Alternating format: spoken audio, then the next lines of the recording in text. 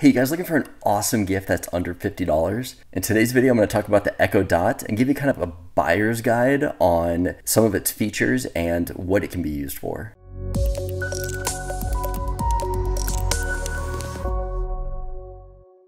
Hey, what's up guys? Steve here. In today's video, I'm to talk about the Amazon Echo Dot.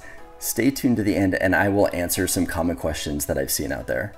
So first I want to start and just tell you guys what the Echo Dot is. It is a hands-free voice-activated device with a small speaker inside. Basically, it allows you to talk to it and control things in your house.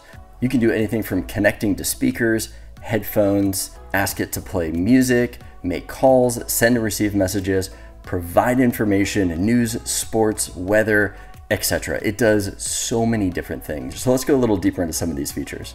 I would say by far over anything else that we have this Echo Dot do is play music.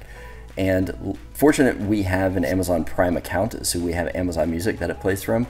But just to give you guys some ideas of what other types of music stations you can connect it to, it says here on the website that you can connect it to Pandora, TuneIn, iHeartRadio, Spotify, and Sirius XM Radio. So all of those different platforms you can connect and log in through your Echo Dot and have it play music that way. You don't have to have a Prime account and use Prime Music to play it.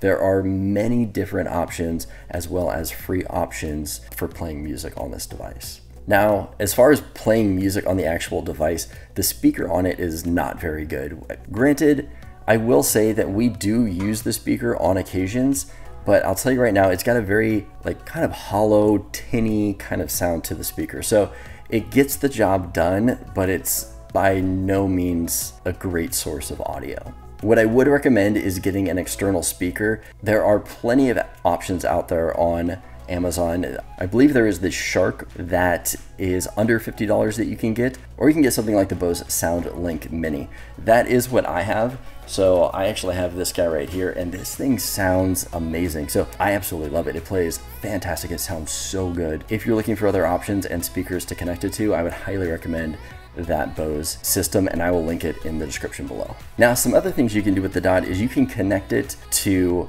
kind of a smart home atmosphere. You can connect it to light bulbs, thermostats, have it control temperatures, have it dim lights, turn off lights, there's a whole slew of different things that you can control just by using your voice with the Echo Dot. Some compatible brands with the Echo Dot is Wemo, Samsung SmartThing Hub, which is what I have, Wink, Sony, Hue, Nest, Ecobee. These are all different brands that can be voice activated with the Echo Dot. As far as the voice control, the Echo Dot has a far field voice recognition system that has seven different microphones inside of it and allows it to pick up a voice from any side of it.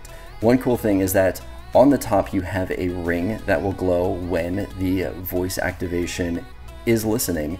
And if you notice on there, it is a dark blue circle, but a part of the device will light up light blue in the direction that it's hearing the sound from. The Echo Dot also has another feature called skills. In essence, a skill is what allows the Echo Dot to connect to other devices.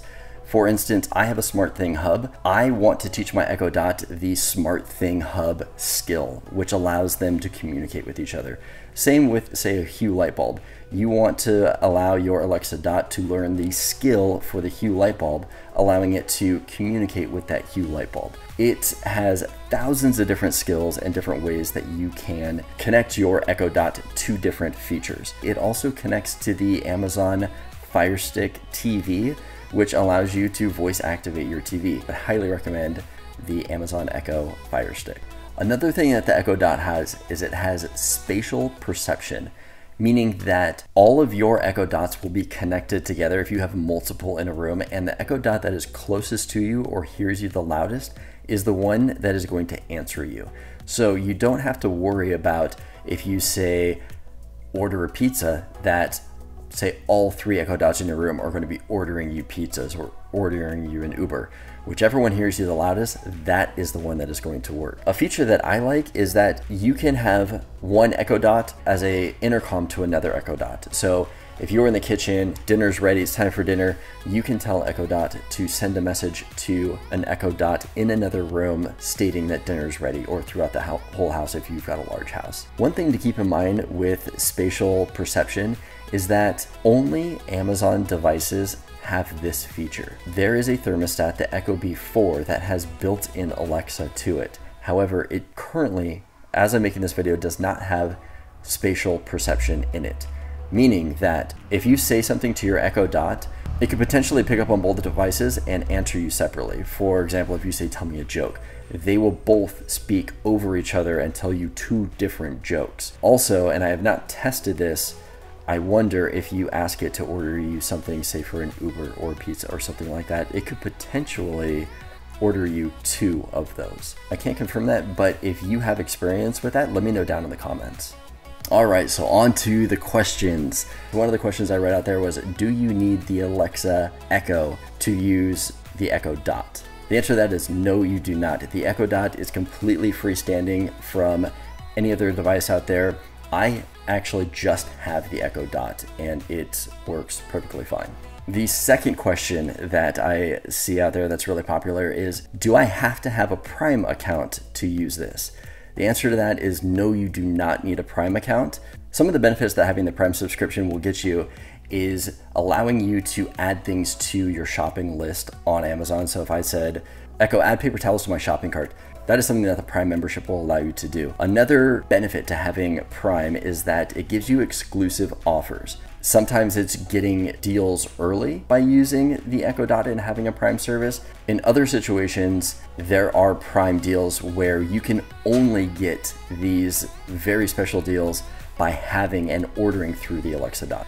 The third thing that is a benefit for having a Prime membership is Amazon Music. Having Amazon Music allows me to create playlists, have music without commercials.